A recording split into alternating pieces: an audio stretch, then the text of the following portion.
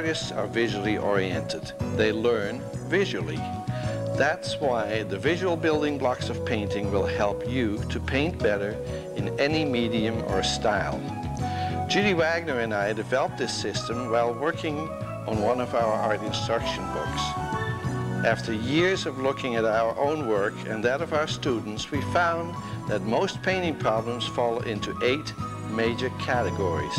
The same problems seem to repeat themselves over and over again. I feel that once students are aware of these problems, they can then learn to avoid them. And thus, these recurring stumbling blocks can actually be, be turned into building blocks with which to paint better paintings. These building blocks will be explained with lots of helpful examples and advice from great masters of the past as well as some of today's painters. Through the ages, a lot of good painting advice has been passed down to us to form helpful guidelines. Basically, I have taken many of these guidelines, wrapped them into neat bundles, and designed a graphic symbol for each category. Remember, a picture is worth a thousand words. Once you know the meaning of each symbol, they'll serve as an instant visual reminder of what to do during the painting process.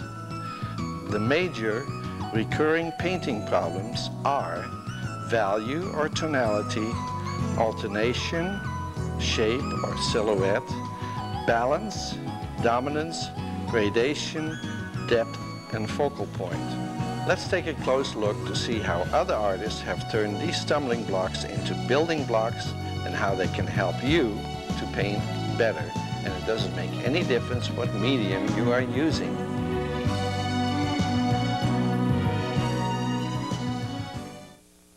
In the beginning phases, when we start to paint, we look at all the pretty colors that we see on our palette, and we have this tendency to put down all those nice colors with actually not paying much attention how dark or how light a color is. That's, that's basically the, the first building block and uh, the first problem that we encounter, values or tonality. And therefore, I would like you to see our symbol right here.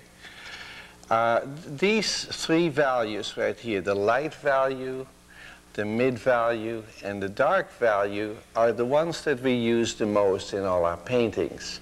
This is where most of the colors are. Then in addition to that, we use the accent color, or the accent of the white, and the accent of the very dark colors that we use as in the, as um, shown in the border of our symbol. I think what we should do is keep our values simple. You can see there are only three here. In reality, we have a lot more values out in the landscape or the still life or whatever we're painting. These three values are much like a musical chord. In other words, you'd have, the, if they were, if, they if, if you could sing them, they would go bum, bum, bum, a nice chord of values that you need in all your paintings. This is where all the colors will be in that range. Let's look at John Singer Sargent. He used the white in the little section right in here and balanced it with the little section right here. Then he used the light tone right in this area right about here. Then he goes to his mid value or mid tonality and he uses that more around the edges. And then he goes and uses the darkest tones for some of the accents and the black or very dark value is represented in the doors and the, and the figures as well. Another artist who uses these values very nicely is John Pike in, again, a scene done in Venice. Let's look at the lights here. Now, we don't exactly have white in this, but we have very light values. So it, it, it doesn't necessarily have to be pure white. It can be just a very light value that you use. So we have a light value here and a light value here. Reflections are balanced. And then we go to the first tone. The first tone is represented in some of these areas right in here, and here, and in the water, and back in here, and back in this building right there. We go to the mid value, and there's lots of mid value in this painting, and it's distributed throughout the painting. Then we go to the darker values that are, uh, again, throughout the painting, and for the very dark, we look into the gondola and the very dark reflections in here as well. Now, what is so nice about this uh, tonality symbol is it also helps you when you go out on location to find the subject matter. You actually, when you go to on location, what you should do, you should really listen for the subject rather than actually look with wide open eyes. You should squint because when you squint, then all the surface details are no longer there and you see the big masses just like they're represented, represented right here in this symbol. For instance, let's go out and take a look at this scene right here. If we were to uh, hum this scene, we would only have one tone. The, we do not have the three values in this uh, scene that, we, that we're looking at right now. Therefore, it's not really all that great to paint. We go a step further and we see this wonderful tree with all its textures uh, along the riverbank. We have more values this time, but if we squint down, the the values are there, but the shapes, which we're going to get into later, are not all that clear. And it's very easy for us to be sidetracked by the surface details, the textural details of the subject, rather than uh, being aware of how the, how the subject holds itself together. Another uh, view would be this uh, scene right here. Now, there you can clearly hear these tones. You have the high notes, you have the mid tones, and then you have the nice dark ones. So here is bum, bum, bum, and you have a subject. And then, if you want to, or if you're lucky, in the middle of that subject, you can place that wonderful accent white by, for instance, putting a little barn roof in there, and you maybe a little shed to the front of it. Now you have the little accent of the white that you need, as well as that good punch of very, very dark, and you have it at a beautiful point. This particular photograph also reminds us basically that Sky values are different from Earth values. Basically, the sky is the light giver and Earth is light receiver. Therefore, Earth, as a result, most of the time is darker than sky. So the values in the Earth are darker than the sky, with the exception, of course, of man-made objects, like, for instance, the building. That could be lighter than the sky um, a road could be the same value as the sky. Number one, you've got to believe your own eyes. You need to go out there and you need to take a look and, and really compare these values to um, the values that are next to it.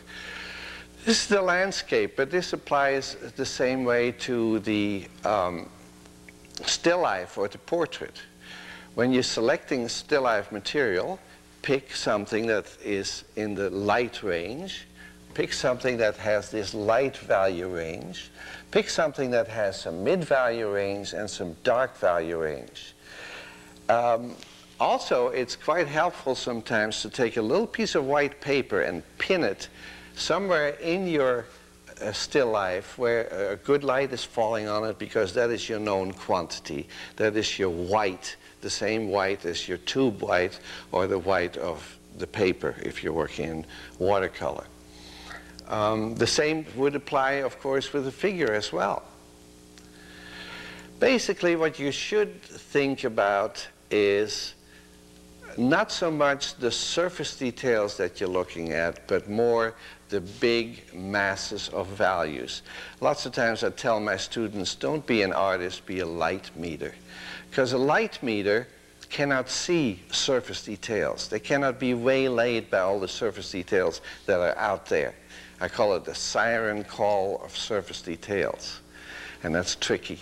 And, but a light meter doesn't see those. A light meter can only see how light or how dark a certain area is. And you'd be surprised if you put down those values just the way they are as a light meter would see them, you'd be amazed how little surface detail you would actually have to put on top of it to make it a believable painting.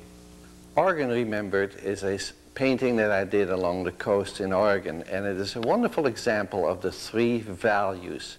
When you squint down you can see that there are three major values there. Yet when you open up your eyes, then you can see that within the foam, for instance, you have a nice breakup of different values. And even within the rock areas right here and here, you have a different uh, uh, variation of values, and yet they group together as, as only three values.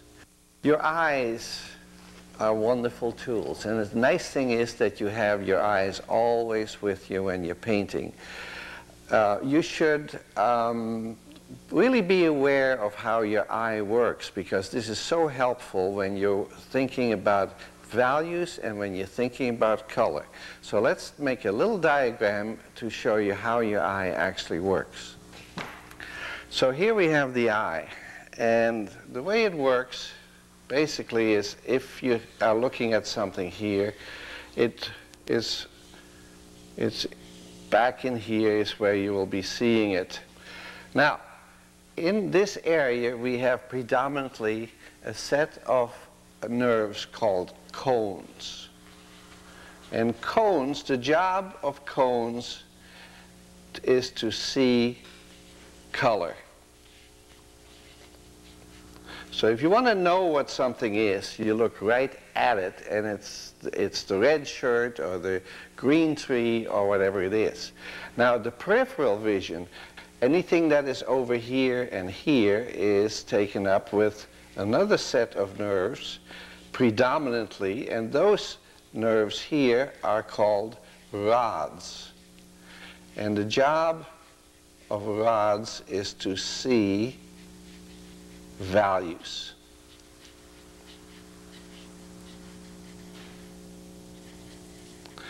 Now, what does that mean? That means that if you want to see a color, you look into the area, and if you want to see how light or how dark that color is, you look next to the area.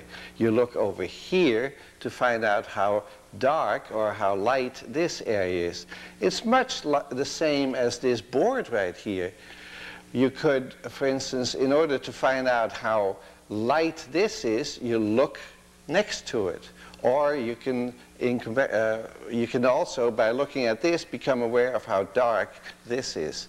And this is so important when we're dealing, for instance, in the landscape with uh, trees that are outlined against the sky, or a, a roof outlined against the sky. Always look at the sky and it will tell you how dark the trees are. And of course it works the same way in still lifes and figures as well. Look into it for the color, look next to it to find out how light or how dark the object and the color is. Okay, I think that will be quite helpful for you and I think that will uh, make us, get us ready for the next step and the next building block. Alternation is our second building block. It's really the building block that clarifies everything. And uh, it goes back again to our first building block, which was values. If we use our values correctly, we will have alternation happening for us in the painting. Often, however, what happens is that we get uh, with all the pretty colors, we put all the pretty colors down, and we come up with a mid-value with a mid-value type of uh, painting like this, where everything is a bit on the light side, that's uh, very much like mumbling. We're, we're not saying things very clearly. We can say things with more punch and get more excitement in a painting. As you can see, the alternation building block shows us that there should be a light against the dark and a dark against the light. It does not have to be um, black and white. It can be many different values, but it should definitely be a, a clear clarification of a, a, light against a dark. And this can be applied in uh, all our paintings. For instance, this painting I did in California. And the same alternation happens again if you would turn this building block a bit sideways, you could see this is a dark, and this is a dark, and here is a light, and here is a light. Um, in this area as well, this post is dark when it's surrounded by a light, and it is light when it's surrounded by a dark. Light against dark, this is our story. Look at this painting by Milford Zornes. It is very clear as to light, dark, dark, light, dark, light. All the way through, he, he keeps those values clearly stated. Light, dark, light. Then he goes to a dark again, then lighter again. Again, it doesn't have to be black and white. Here is uh, another example of these alternation at work, much in a checkerboard fashion. If you look, you will see that basically you have a dark area here, and that means that, therefore that chimney has to be light. Now, in this area, the chimney becomes dark again. Look at this checkerboard. Here we have a dark against a light, and a dark against a light. What happens so often, however, we are so involved in our painting that, for instance, in an area like this, we might say, oh, I want to place a figure there. So we're going to place a figure there, and then we say, okay, well, that's pretty nice. Now, what color should that figure be? And we're going to paint, and we're going to say, well, let's, let's put uh, blue jeans on the person, and so we do that. And then we say, okay, now let's see, what, what will the person's top be? And we are going to paint some kind of a color that um, will be ideal for the top. And we put this color down. Again, not paying attention to what value it is. And so what happens then is we, we, what, we, what's, what we're doing is we're placing darks against dark, and that will not work. Um, by the time you have a, a face on there like that, and you squint down, you've lost the figure. So this is a good example of keeping, a, uh, keeping figures light when they're against a dark area and dark when they're against a light area. In addition to that, uh, I can enlarge on the alternation symbol because this is really a checkerboard. And uh, we have a little diagram that we can do to see how the checkerboard works from the regular checkerboard to the artistic checkerboard to how we actually apply it in a painting. Let's take a look at what a checkerboard looks like. A checkerboard is very simply like this, a couple of things, lights against the darks, and it has to be that way. If it weren't that way, you would not be able to distinguish the checkerboard. So light against dark, dark against light. Now the artistic checkerboard, on the other hand, is much more fun. And it's an exercise that I'd like you to consider doing because it, it teaches you uh, balance and it teaches you about shapes as well. The artistic checkerboard, we're going to use um, different size checks. Let's, let's see how it works. We'll take, for instance, one over here and we'll make it a rectangle and we'll balance it with a very small one like this and then come in with a skinny one like this. And what we're doing, we're at the same time looking at the leftover white spaces at the same time. This is quite heavy at this side, so I need to balance that with a heavy weight on this side. So there is another one. How about a small, tiny little check right here? And so we can go on. And what we're doing, we're, we're balancing, we're balancing, and we're breaking up the white areas. And the white areas are just as important as the dark areas. Let's make that a more interesting shape. Let's make it a little bit longer. Now we have a much more interesting uh, white space left over. What happens if we were to place a small, well, let's make it a little bit larger. Larger check here. Let's not make it the same size as that one. And how about another base check right here? And we can go on and make this one a little bit larger. What we have done, we still, we, we are still alternating. We're still saying light against dark, dark against light, but we are making it more interesting. We are making the um, uh, dark spots more interesting as well as the leftover white spots. Here, now at this point I say, oh, I really need a little check about right there.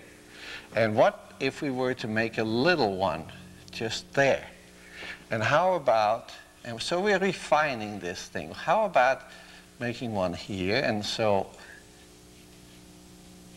so we're constantly playing with the negative space and the positive space.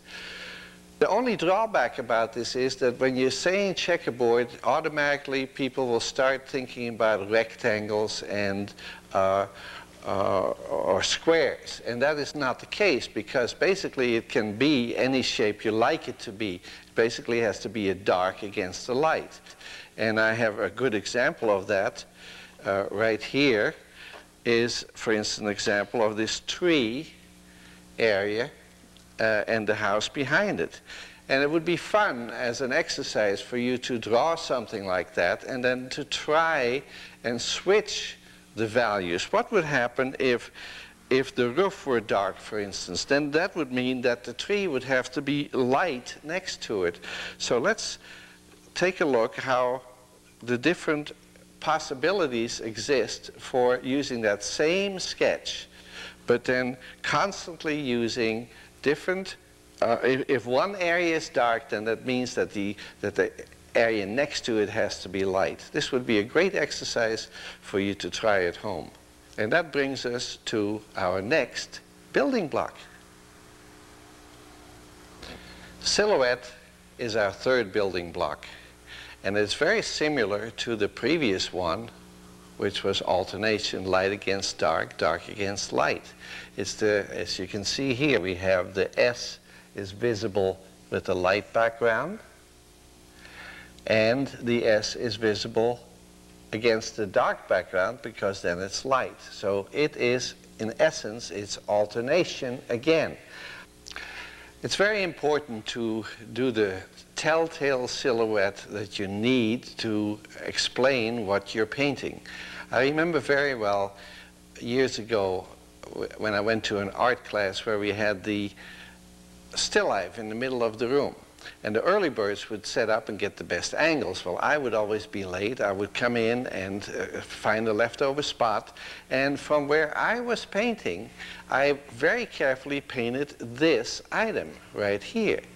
And I tried very hard to make it look what it, what it should be.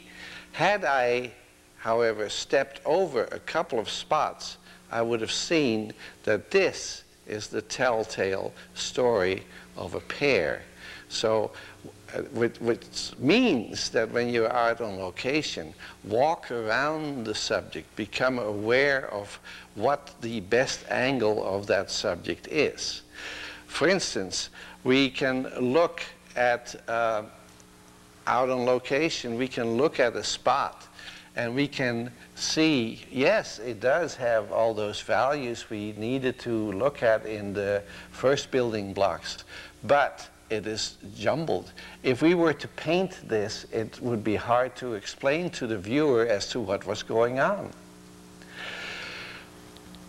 Also, what happens quite often is that one silhouette outline will steal the beauty away from the other silhouette outline. So we need to look for that. in this case, for instance, there's a beautiful outline of this mesa backdrop, but it is stealing the show away from the building. The building is not visible from this particular angle. So you have a choice. You can move around then and find an angle so that this uh, building is again visible against the sky. Selecting a subject is, as we said in the beginning, you need to squint and you need to, when you when you squint down and you clearly see the shapes that clearly explain themselves, you've got a subject, as we can see in this uh, photograph right here. When you squint down, you can clearly see, oh, I see a roof, I see edges of a building, and uh, trees, and, and so on. They're all clearly uh, defined shapes.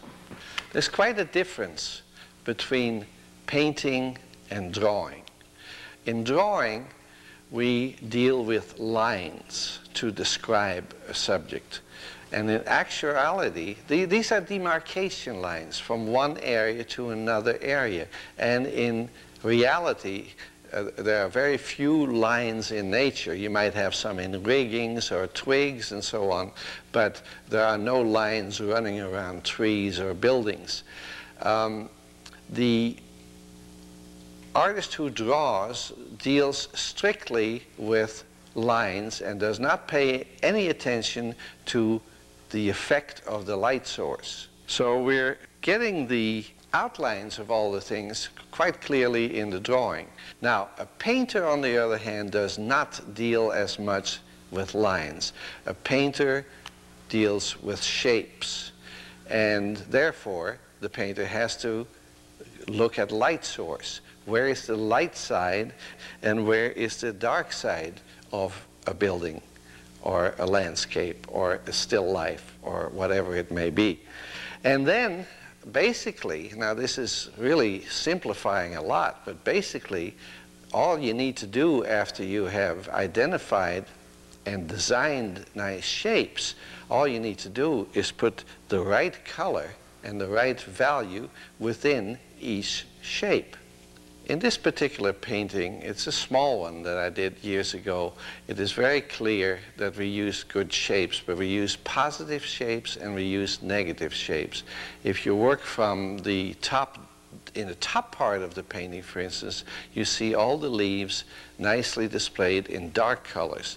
Then, when the background becomes dark, I have opted to leave all the leaves light and white. And then when we go lower down into the painting and the background has disappeared, we again say the painting, uh, the leaves in dark. I like painting boatyards. In this particular case, I'm in California in a boatyard. And to me, the telltale shape that I need to include in a, a boat like this is the rudder and the propeller. And it was actually not visible in this case because there was another dark boat right behind it. And I opted to leave that boat out in order to really tell you about the shapes that to me are important, telltale shapes of a ship. Shapes can be a lot of fun. I think shapes, uh, of, of course, we need to have shapes that express what it is, but at the same time in painting, if we with one shape can say several things, we're better off. Let me illustrate that point.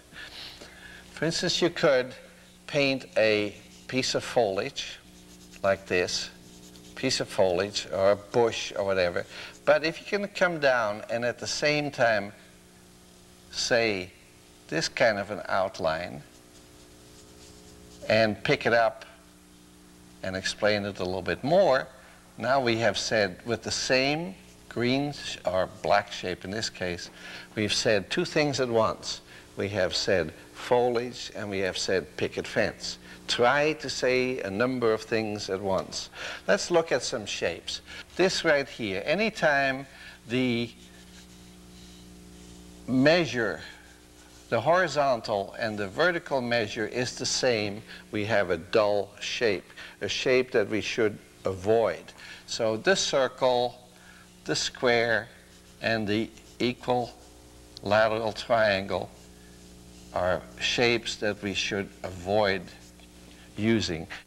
You've already seen that the um, pear looked at from the circle angle is not a telltale shape. Immediately it becomes a better shape if we turn around and do something like this. And we have a better, now we are we having a different measure. This measure is long and this measure is short. We could, for instance, um, take the open barn door as suggested by this square and look at it from a different angle and have a more interesting shape, especially if we have things cutting into it. These particular shapes right here uh, are just pieces of paint. And what we need to do, we need to have shapes that interlock. If you look again at the symbol, you will see that the background interlocks into the S. And in both, in both cases, it, there is an interlock happening right here. So this is what we need to do in painting as well. We need to find, I call them jigsaw puzzle pieces, things that lock into each other. So it could be a, a light, something or other, or something sticking out. Uh, the pear, for instance, could have a highlight on it, and then we would have a, a good excuse to have an interlocking. The shadow could be like that, and that would be an interlocking piece. So we have interlock, interlock, and interlock right there. Find an angle that is more interesting to than this equal lateral one. So possibly this could be a, a roof or a, um, a facade of a house. And so the minute you start angling this and put a shadow in, you are having a much more interesting shape happening than over here because it interlocks. Okay, it's wonderful to uh, talk basically about all these positive shapes. They're all positive, but we also have negative shapes as you have seen right here with this picket fence. This picket fence does not exist. It exists because of the, the dark area that I painted around it. But we do have, uh, we have to have an awareness of the negative shapes. And so, especially if you're working in a medium uh, like watercolor, because in watercolor you have to think ahead. In oil or acrylics, it's very simple. If you need a white, you just dip into the white and you put it in. But in watercolor, you have to learn to think ahead. And a good little exercise for that is to think of actually carving away. Think of, think of a, a, a piece of clay or stone and you're carving away everything that you don't need. So here's a, a, a fun exercise. What we do, we just start out with a kind of a wedge shape and maybe another wedge shape over in here. Then we put another little wedge shape and another one and possibly one in here. And we could go over here again and put another wedge. And let's see, let's make this one a little bit different and another wedge shape. And what we're doing in this particular case, we are putting down pieces of paint, but at the same time, out of the corner of our eye, we're looking at the leftover pieces of white to make sure that they are reading as what they should be reading. And you can go on with this and have a lot of fun creating a whole forest interior. Having little shapes, big shapes, fat shapes. They're all negative shapes nice little squished shapes. Now, what you need to do, you need to look at, uh, or actually in this case again, you need to really squint. What am I seeing? When you squint, all of a sudden it will start making sense to you. And I have some examples that I can show you. Here is a example of what we have just done before, but now this time we did it in color, trying all the different greens. This would be a great uh, exercise to mix your greens and at the same time learn about the negative shapes that are actually carved out and as a result the trees become into, come into existence. Notice that uh, when the tree goes against the sky, you are free to say the same thing again in dark. So it all doesn't, the whole tree does not have to be negative. It could be part positive and part negative. Here's another example of using the, the painting the background. It's great fun, and I would suggest that you that you try it. You you mix your colors in the background, and you and also you have to remember that no pencil was used in this. You place the piece of paint right onto the paper and you start carving away. If you use the pencil, you really, in this particular exercise, you're kind of losing the benefit of it. You need to, you need to work directly with the shape and kind of look at the shape and look at the negative uh, leftover piece at the same time. As you saw earlier in the photograph where we had the mesa and the building, uh, one silhouette can destroy the beauty of the other silhouette. So we have to be careful where we place our silhouettes. So they can, they can join, but they have to place in such a manner so that one does still allows for the beauty of the other one. And one in, in painting houses, it often happens that, for instance, we could have a house, but then there is a tree in front of it which obliterates what I call a crucial corner. Let me explain. If you were to give me and show me this angle of the house, and possibly this little edge right there, and maybe this edge here, and possibly this edge here. Then what happens is that I can actually place anything I want in front of that. I can put a whole forest in front of that area and just obliterate it. Doesn't make any difference. You can still see that despite the fact that I covered all this up, you can still see that there's a house behind the foliage. And the same thing would apply, for instance, and often applies to when we're painting uh, boats and piers. The, the crucial outline, the crucial shape for a boat, one of them is this front part. But lots of times we will be uh, at the pier and just at that particular spot from where we're standing, that post is right there. And that, of course, would obliterate that crucial angle of the ship. So what we need to do, we need to come out and we need to reestablish that telltale edge, that telltale silhouette that tells us it is a ship. And I think that should be enough for this uh, building block, and let's move on to the next one. Okay, we're at balance, which is our fourth building block, and it's the building block that adds solidity to your work.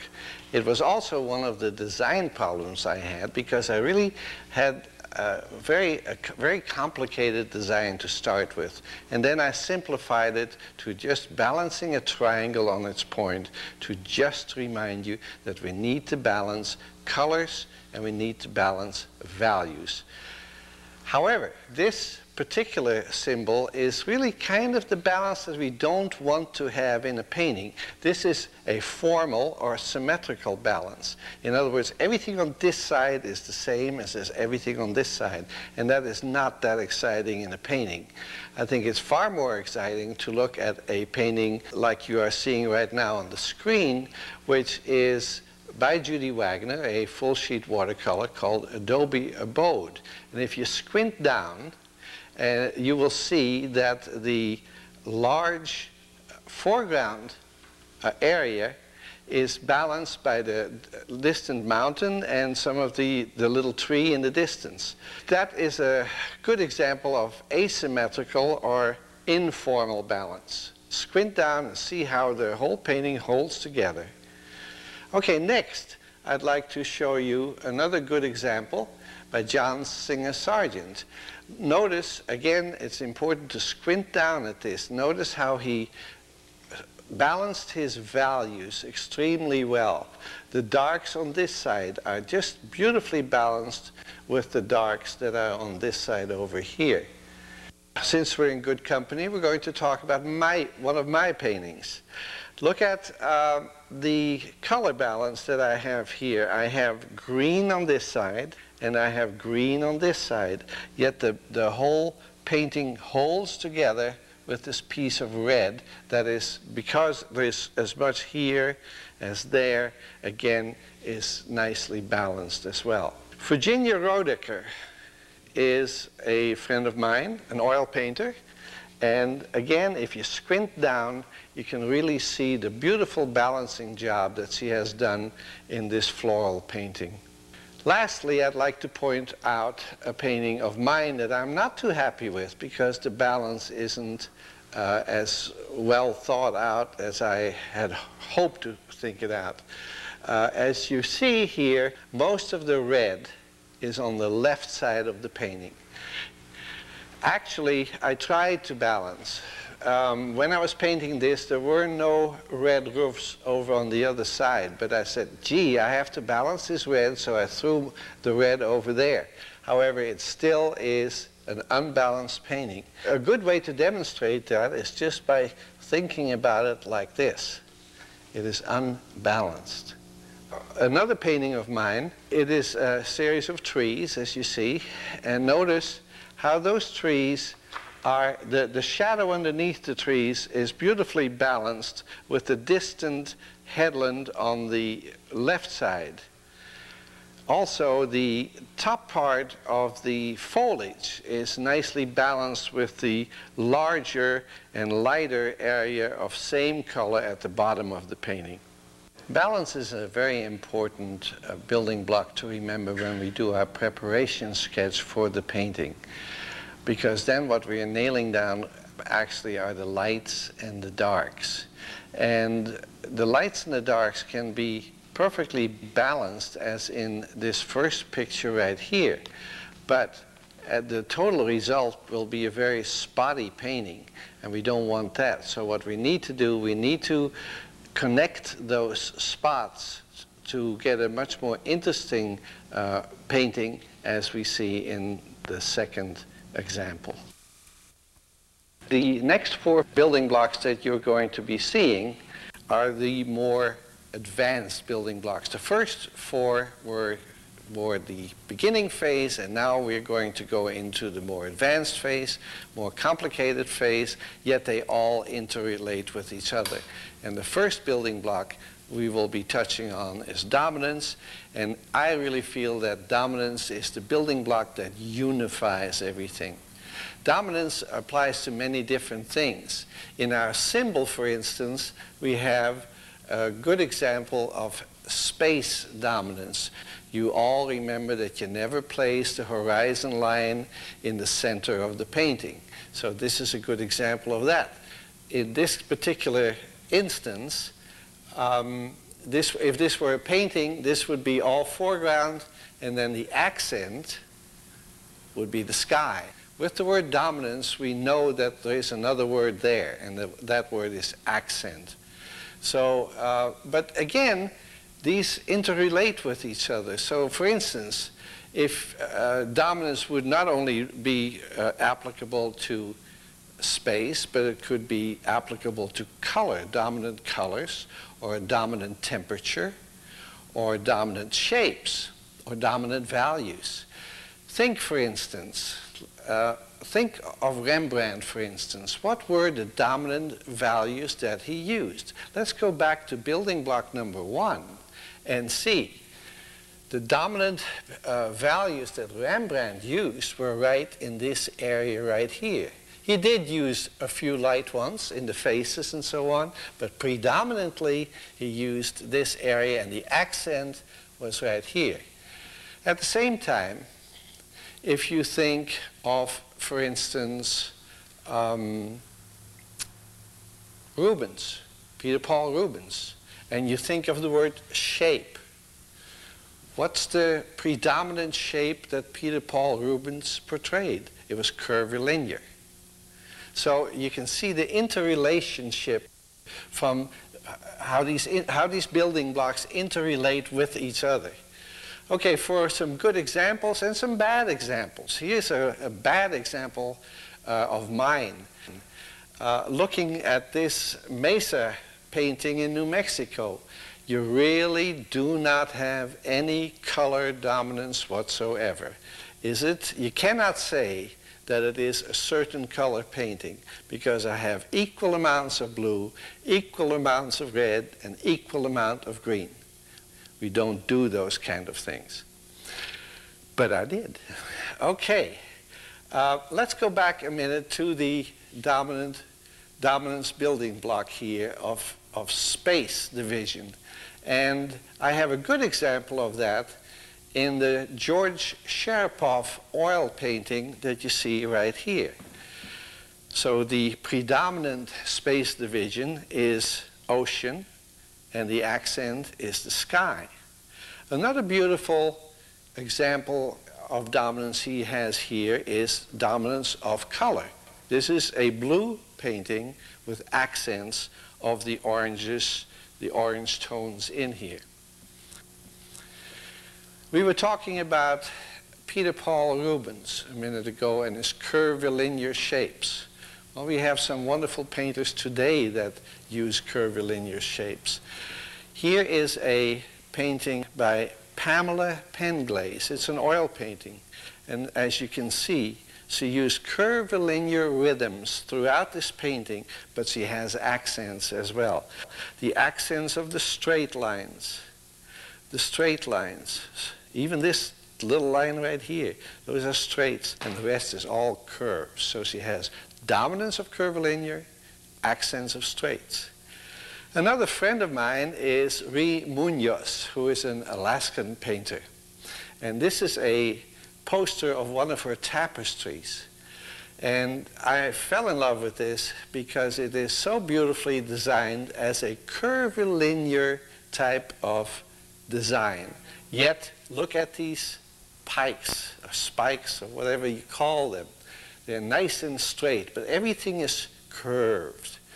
Also, from a color standpoint, Munoz does a good job because it's predominantly oranges and browns, but then she has that beautiful cool note in the water of the blue as well. I also have some slides that I'd like you to see as well. Going back to uh, the dominance of land versus sky, we could do the opposite.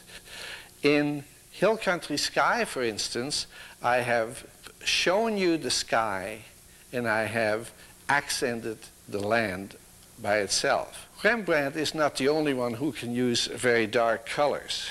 Uh, in this painting of the uh, interior of the barn, I use very, very dark values and then accent the window and what light is falling through the window. You can use light values or you can use a dominance of mid values. Carmel Mission, for instance, is a good example of just using mid values and a few darks to accent them. As I said before, there are many different ways to uh, use dominance. You can have dominance of color, value, uh, temperature. One of these, for instance, now the one that you're seeing right now on the screen is dominance of soft edges with the accent of the hard edge. But I'd like to point out a couple of paintings that I've uh, done over the years, and uh, it's good for you to take a critical work, a critical look at your own work. This painting, for instance, right here, it's well painted, it's nice, nicely done. However, it reaches that half and half point. And if you look at the dominance symbol again, we don't have half and half. We don't have the horizon line in the middle of the painting. We have one area that predominates and the other one becomes the accent. So this one I consider a half and half painting. Then we have this lovely painting right here that I'm quite proud of, uh, proud enough to do a poster on. It's, uh, I, all I can say on this one is that it is dominance of temperature. It's a very warm painting. I'm a little bit questioning, though, as to what is the dominant color in this particular painting. But you know, I think I'm going to design a ninth building block. And that ninth building block is going to say, so what? Because, you know, we, we can't be, we have to be critical of our work, but at the same time, we should enjoy what we're putting down as well.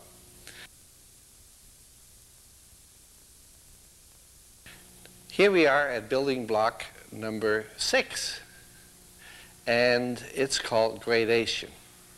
And I like the word gradation, but basically you should think of that word as change, meaning change. Gradation is more thought of as a from to type of situation. So you could gradate from a light to a dark or a dark to a light. And we have a diagram which we're going to show you. But uh, change is also uh, uh, the, the very important thing. It doesn't necessarily have to be from to. For instance, in this uh, vignette poster of mine, I have a lot of change happening in the foreground area. I have uh, change of color. I have change of excitement, of spattering.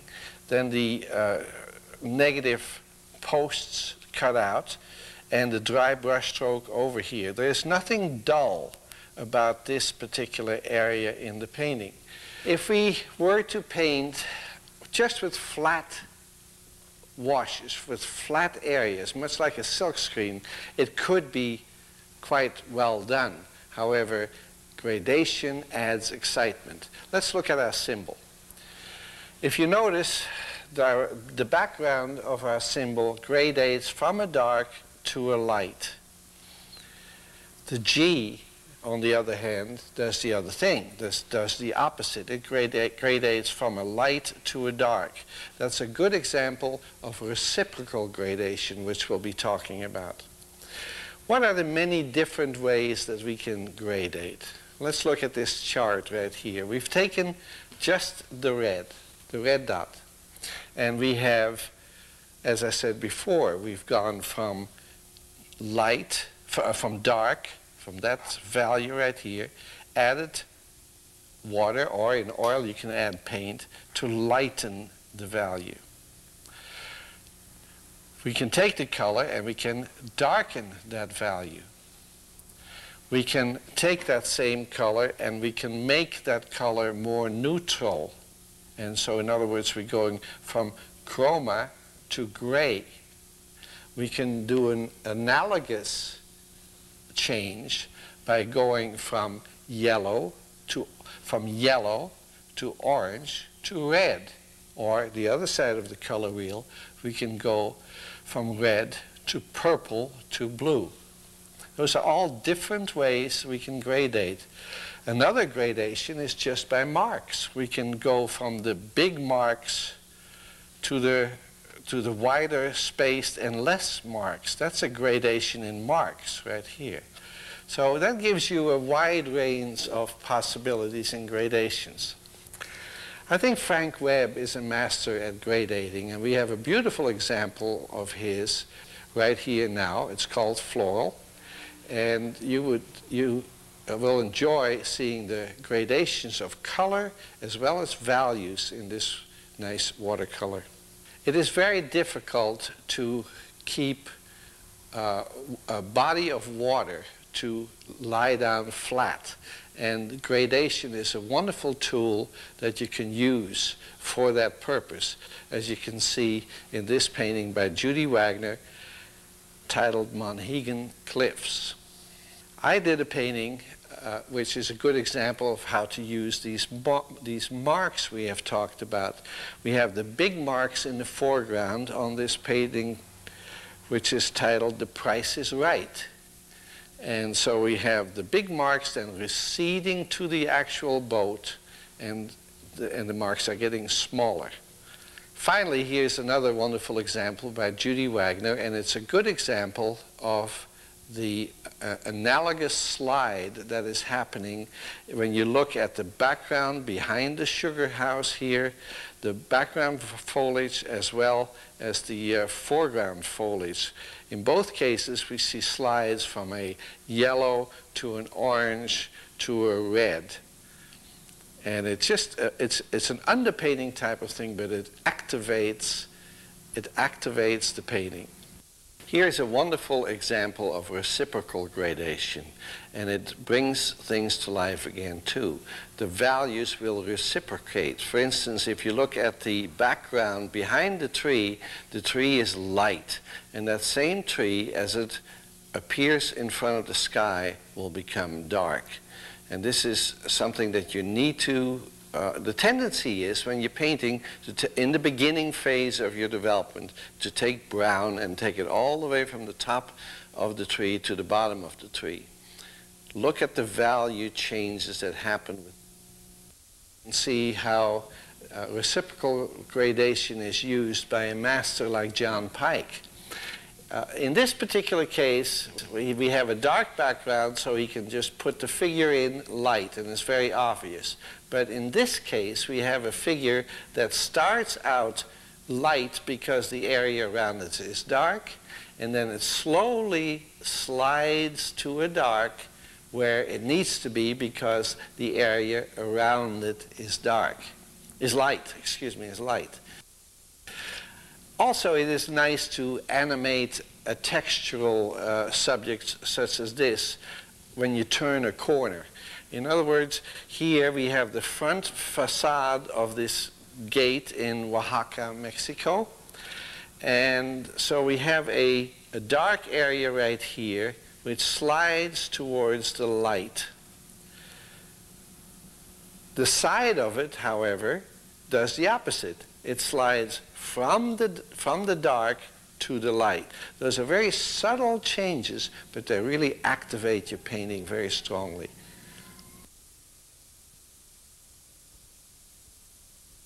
Okay, here we are at building block number seven, which I have titled depth.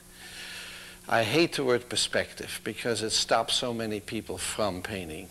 All they can think of is linear perspective, and that means they envision lines going in all directions. Actually, there are many different ways that we can, can gain depth in a painting without ever using linear perspective. And we will be uh, handling those with examples here. Actually, what, what we're more concerned about is atmospheric perspective rather than linear perspective. And to remind you of that fact, I have designed this symbol which reminds me of a drive through the mountains. And it's a good example because then you can clearly see that the distant mountain is lighter than the mountain in front of you. That, that's atmospheric perspective at work the curtains of atmosphere, the more layers of air are between you and that particular subject, the lighter, cooler, and softer edge things become. So those are all devices that we can use to create depth.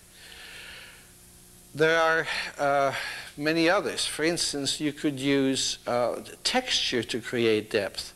Uh, Judi Wagner, in her painting that uh, is titled behind the inn is a wonderful example. She, she handles the texture on the tree beautifully, and so that then becomes the, if you like, the focal point area uh, of the painting. And the house behind it is still indicated, but is rather softly in comparison indicated. Had she turned around and put just as much detail in the house as she did in the tree, that house would have immediately moved forward and you would lose that depth.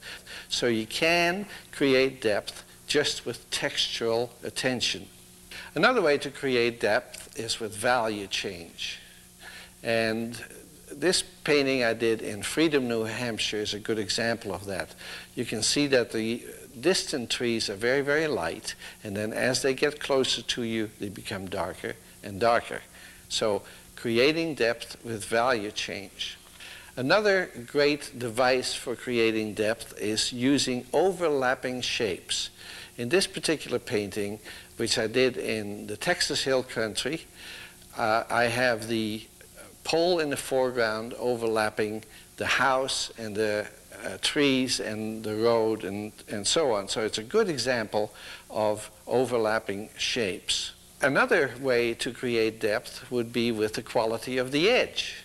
Soft edges recede, hard edges come forward. A good example of that is in the Ron Ranson painting, which you see right here. The softest edge is the one furthest away, right in the distance, right here. And as the subject, as the items come closer toward you, they become darker in value and also a bit harder in edge. So we're having two things at work here. We're having going from light to dark, as well as softest edge to the hardest edge of the tree right in the foreground. Another wonderful way to create depth is with a directional line. This could be a shadow. Quite often it's, it's used as a shadow, or it could be a railroad track or a fence or something of that nature that really moves you into the picture plane. Richard Kaiser, a good friend of mine, has a good example here where he used the cast shadows of the trees to move you right into the painting and into the picture plane. Walter Gonske, another friend of mine, a good, wonderful oil painter, has a great example here of this snowy, wintry scene where again the shadows move beautifully into the picture plane. Another great way to create depth is with a diminishing repeat. John Pike used that uh, very well in this painting that he did in Greece where he repeated the windmills going smaller and smaller. You know they're all the same size windmills, but because they're smaller, they look like you're moving further back. It's called a diminishing repeat. I did the same thing in my painting Vinalhaven, Afternoon. The foreground lobster shacks, uh, the foreground lobster traps are rather big, and then the mid, mid ones are smaller and get smaller. Same thing with the buildings. Uh, the, uh, the building in the foreground is large, and then it recedes in size. Here is a wonderful example of, of work by Brian Atyeo, who is a Canadian watercolorist. And it, it really shows clearly how he has kept the cool colors in the background and the warm colors in the foreground. And of course, from a value standpoint, it, it again is true too. The light colors in the background and the darker colors in the foreground. One more thing I'd like to point out here is the simplicity of the background. And as he moves forward, as he moves towards you, the scene gets more complicated. There are two more ways that you can create depth and I'd like to show you those by example. One other way to gain depth is by gradation, and we do it all, all the time when we are painting a sky. Let me show you what we usually do in a painting. When we go to the sky, we put some blue down. We know that the darkest area of the sky is right kind of on the top of the painting or above our head. And then we gradate that down to a lighter lighter version, and it gets lighter and lighter as we get to the horizon line. And the reason for that, of course, is that there's more air between our eye and the horizon line than uh, there is air between our eye and right above our head. So that's why, that's the reason behind the gradation. Okay, so we get lighter as we get down lower. We always do that. We virtually always do that. But we should also remember that we can use gradation at the bottom of the painting as well. So just by actually grade, putting a gradation in, we can already create depth. Uh, for instance, a road or a field or whatever it is, if we start off with um, a, a, certain value, and then we start gradating it towards the center of the painting and making it lighter again, you can see how just that alone, just by itself, will create depth. So don't forget that when you're, when you're painting. Gradate not only the sky, but the bottom as well. There's one other way we can gain depth, and that's one where we do use lines, but we use them in a, in a more creative way rather than linear perspective. Let's talk about that. Uh, more than likely, uh, you're not aware of the fact, or you haven't possibly thought about it, but busy lines are the ones that are in the front, and uh, quiet lines are the ones that are in the distance. So just with the quality of your line, you can gain depth. Let's see how this works.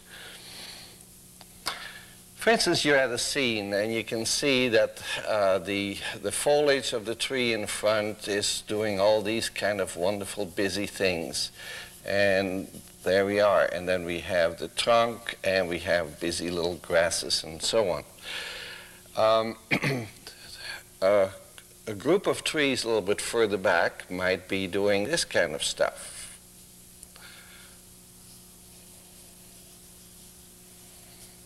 Trunks and so on. Then another series of trees on the distant mountain range might do this kind of stuff. And then the further mountain range behind that might do that. And the one behind that might really be quiet. So you have a, a wonderful example here of the busy lines in the front, and they get quieter and, and uh, flatter. They flatten out as you go into the distance. That's for the general landscape. That's for the general landscape, but you can also use that in, in, in paintings close up. Now let's look over here back to the Fernandina Beach poster where I use this. Notice, for instance, just on this little walkway right here, on this little path, notice that the line in the front of the grass is going up and down and up and down. Quite active back in here, while the one on the other side of the path is rather quiet. So even in this short a distance, you can use that uh, quiet, busy line to gain depth. One more way to gain depth without ever bothering with linear perspective.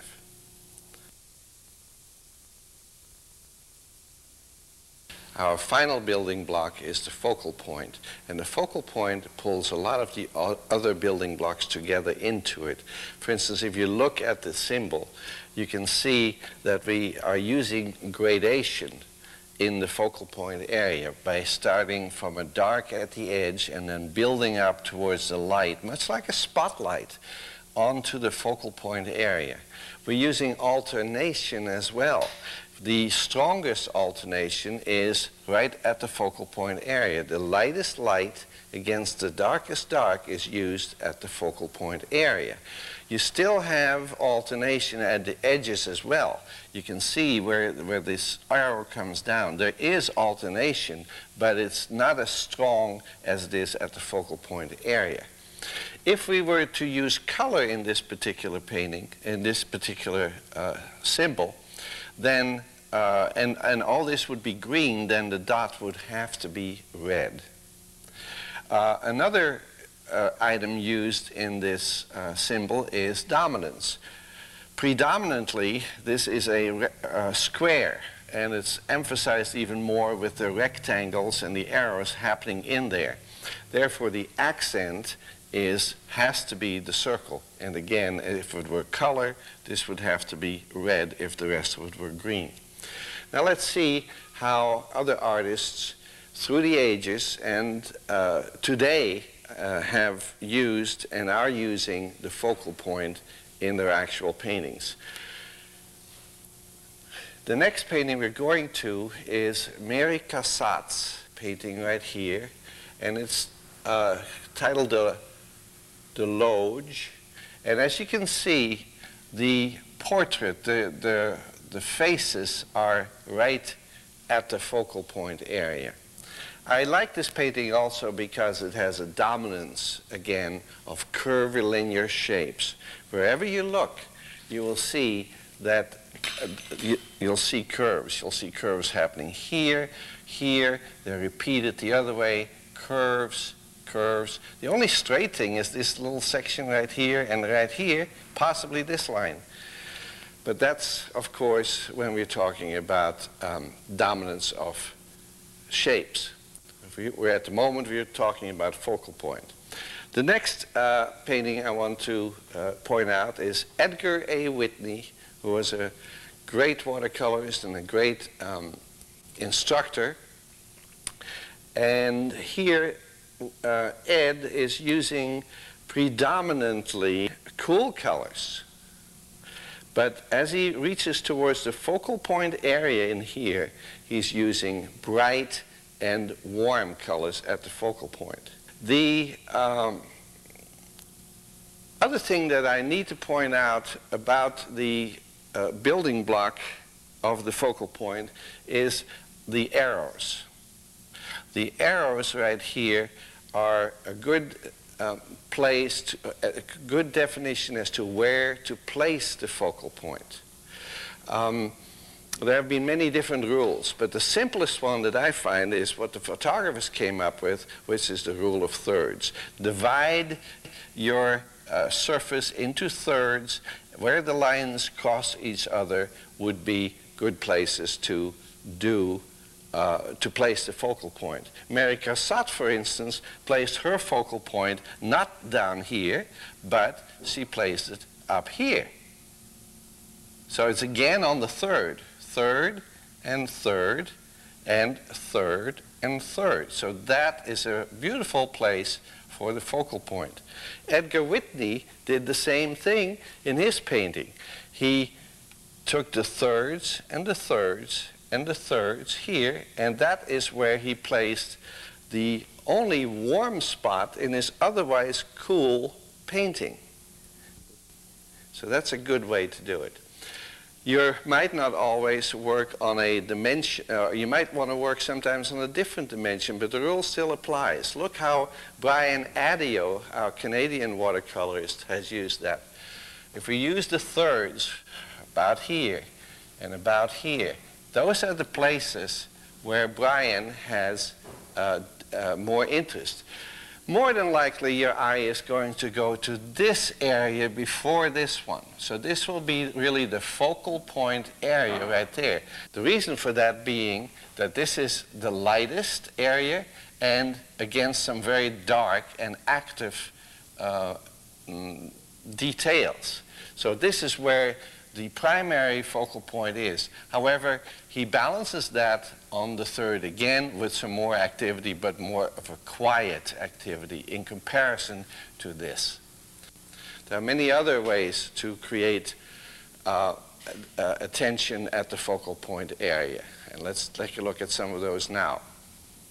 We can direct the eye with value contrast, and a good example of that is Judi Wagner's watercolor, Beyond the Village. And if you look at that, you can really see that, yes, we're, taking, we're going all the way across the village of Monhegan Island, but she directs her eye to the distant headland where the darkest area is meeting the lightest area. So direct the eye with value contrast. This is a um, watercolor titled The Hard Place, which I did on Vinalhaven in Maine. The minute we place the human element in the painting, we can identify with, and this is where our eye immediately is going to go to, to the human element. It might, not, it doesn't necessarily have to be a figure. It could be a, uh, a building or a boat or whatever. The human element. So place the human element uh, in the focal point area. The unexpected visitor introduces the human figure again at a good focal point area right on the third. E. John Robinson is a California-based marine painter in oil, and we have two wonderful examples of his here. The Under the Cape painting really shows the most complicated uh, and busiest detailed area is right of the foreground rocks is right uh, at the uh, focal point area. And he takes the lightest light and he places it against the darkest dark right there in the focal point area. Anderson Valley is another one of his uh, warm, uh, beautiful paintings. And the trees line up right there at the focal point on the one-third. And actually the road and the light field behind form a, a triangle, a, a triangle which points again to the focal point area. One other way to get the attention at the focal point area is to lavish that focal point area with detail, as Judi Wagner did in this full sheet watercolor of a tree in New Mexico. Well, here we are. We have worked our way through the eight building blocks of design, and I think it'd be a great idea to review what we have talked about. So let's look at all of them together here. Uh, first, we talked about tonality or value, and it basically means that when we pick a subject, be it a still life, a figure, a landscape, we need to look for a light tone, a mid value, and a dark value. And then we need to look for the accents of the white and the very dark as represented by the border. Uh, in color, this would also mean that we need to have our color range to be in this area right here. This is where color is. Our next building block is alternation, and it basically means that we always need to place a dark against a light and a light against a dark. Now, at the focal point area, you would have a very stark light-dark contrast because that's where the eye needs to go. As you get closer to the edge of the painting, that contrast would decrease, but you would still have alternation. This, in color, this would also teach that you need to place a light color next to a dark color. In the next building block, we're talking about silhouette or silhouette shape. And what we basically need to think about there is that we pick a shape that really tells the story of what it should be. The outline should be clear. And in this particular case, the S reminds us of that very well because it's an interlocking shape. The background interlocks with the S, both in the white area as well as in the dark area, and they both are very readable. So that's the important thing in silhouette shape. The balance building block balances a triangle on its point, and it's a form of formal balance or symmetrical balance. It's not the type of balance that we usually do in a painting. In a painting, we deal more with asymmetrical balance or informal balance. But it still applies to values to the whites. We need to balance our whites. We need to balance our values. And we need to balance our colors. And so that's, not, although this is in black and white, we need to think color applies to all of these as well. Next, we looked at dominance. And dominance is, is so applicable to all the other building blocks as well. And in painting, we, we think of many forms of dominance.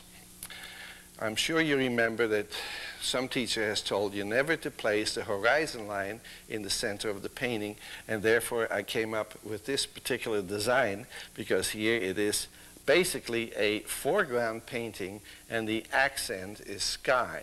And that is uh, dominance of space division. But you can have dominance of, for instance, values. If you think of the predominant values that Rembrandt used, you immediately think in tonality, you think right in this area right up here. He used the, the, the mid values and the dark values predominantly, and then he had the accents of the light ones as well.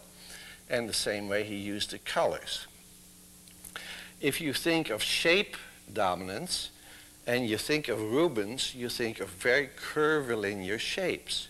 If you think of Piet Mondrian, for instance, you think of all the rectangle, rectangular shapes. So that's dominance of shape, dominance of value. You could think of dominance of uh, temperature, all warm colors. You could think of dominance of color. It can be basically a blue picture or a red picture or a purple picture. So that again has dominance. Plus the accent. If it's a blue picture, you would have orange or brownish accents. Always the opposite. The next building block is gradation, and it really brings everything to life. Gradation means change.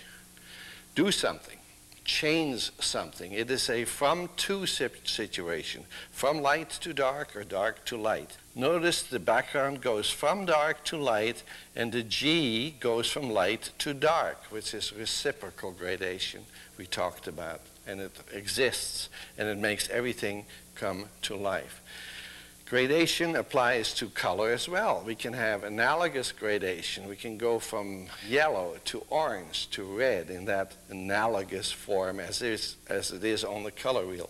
The next building block is depth. And when we think of uh, perspective, we're immediately thinking of linear perspective, with lines going in all directions. We artists are more concerned with atmospheric perspective how, much, how many curtains of atmosphere are between us and what we're looking at. Imagine yourself driving through the mountains and the distant mountain is much lighter than the mountain uh, closer to you. This applies to color as well.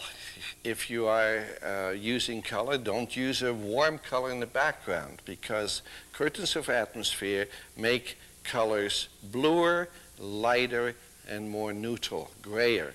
So keep your cool colors here and your warm colors up front. Our final building block is the focal point, which brings a lot of these other building blocks together. We are using, in the focal point, we're using gradation by making the edges a bit darker and building up towards the focal point area. We are using um, the alternation, the lightest light and darkest dark contrast is right here at the focal point. We are using dominance as well. This is predominantly a square emphasized by these lines as well, the rectangular lines. So the accent is the circle. If this were in color and this were all green, then the, the dot would have to be a red dot to create the alternation that the uh, contrast that we need. Also, this points out that the rule of thirds always place your focal point not in the center but off to the third of the painting, either here or there, or there, or there. And that concludes the uh, eight building blocks. Now, the the nice thing about these buildings block, building blocks is that it's visual and you are visual. You're visually oriented, so this is a great thing for you as a visual artist to remember. The only problem is if you don't have these building blocks in front of you, they can't help you. And therefore, I have created this building block poster, which with, uh, with a little synopsis of all the different things that are, apply to each building block. And all you need to do is send $2 uh, for postage and handling, and we will mail this building block poster to you, absolutely free.